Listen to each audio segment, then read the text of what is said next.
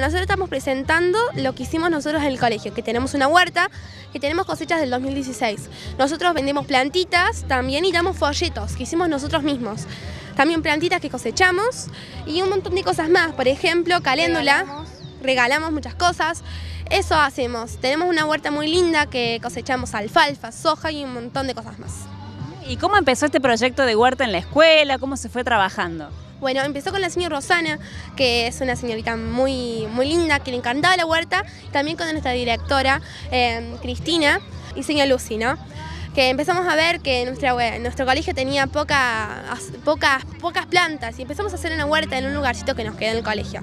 Empezamos a cosechar, cada grado tiene su propia cosecha y eso. La actividad empezó el año pasado, nosotros es el segundo año que venimos y la gente nos recibe muy bien acá. Eh, nos pregunta cosas que estamos haciendo y son muy amables.